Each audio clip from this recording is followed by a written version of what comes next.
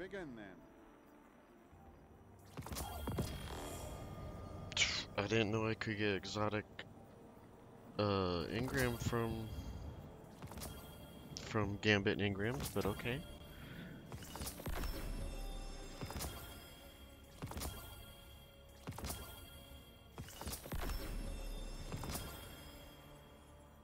Let's see what we've got for each